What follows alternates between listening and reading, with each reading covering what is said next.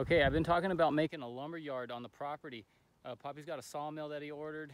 It hasn't arrived yet, but it's it should be should be coming soon. But we want to have a lumber yard, a place where we can not only do sawmilling, we can split wood, we can stack wood. Poppy can do all his chainsaw carvings. It's just going to be like wood central. So there's a spot where the properties like joined together that we've like looked at and um, want to just make it the nothing but a wood area. So we're calling it the lumber yard. And uh, Poppy's on his schedule, I'm on my schedule, but he's over there doing some stuff. So I kind of want to get a shot before he gets too deep into it, so we can uh, see what the before looks like before we get too far into the after.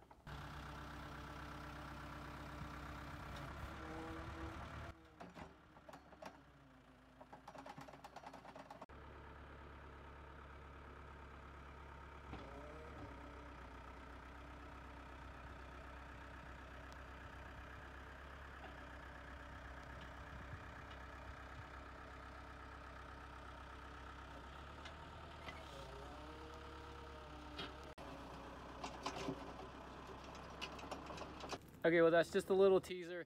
It's so hot out here. He's not gonna be out here for very long and it's good practice not to be probably running the tractor in this kind of heat anyways. But anyway, it's just a teaser guys. There's a lot more to come on this. It's gonna be a big project here over the next couple of weeks. But anyway, Poppy's getting started on it. So that's what we got for today. Thanks for joining me. I'll see ya.